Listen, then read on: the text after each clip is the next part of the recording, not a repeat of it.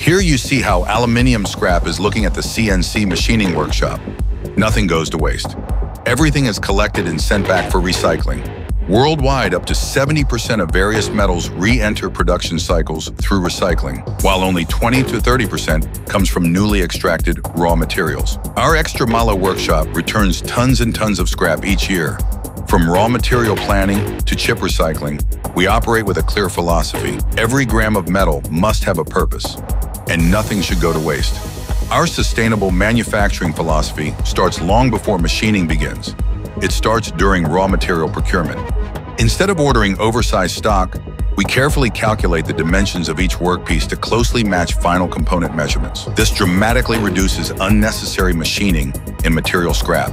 By actively feeding high-quality scrap back into the system, we contribute to reducing global mining and resource depletion.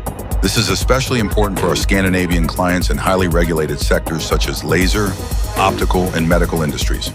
They require full transparency and social responsibility. Our sustainability practices meet these high expectations 100%.